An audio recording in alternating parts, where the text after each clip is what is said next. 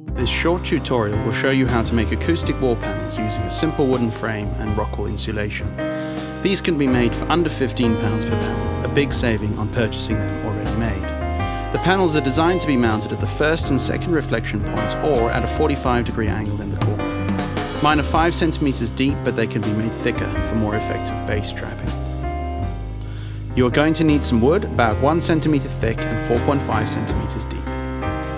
I got mine from Homebase in the UK and you can see the dimensions printed on the label. Cut the wood up so that you have two pieces of 119 centimeters and two pieces of 61 centimeters.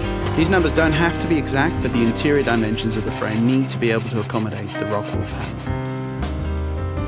You'll need some corner brace pieces and small screws. Attach the corner brace to the end of one of the long pieces of wood.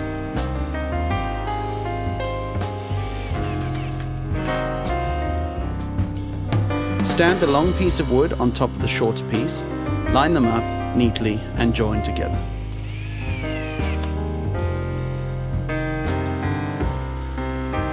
Fill all four holes with screws to ensure a solid join.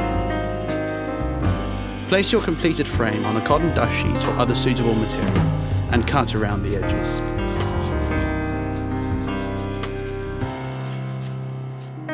Staple the fabric to the sides of the wooden frame making sure it's nice and tight.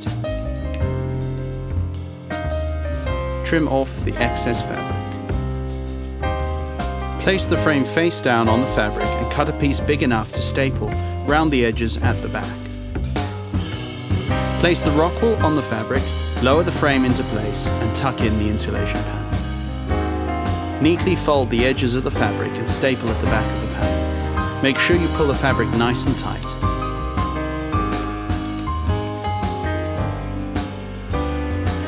The acoustic panel is now ready for use in your studio. I've chosen to cover mine with an additional layer of cheap, thin fabric purchased from IKEA at about £1.50 per panel.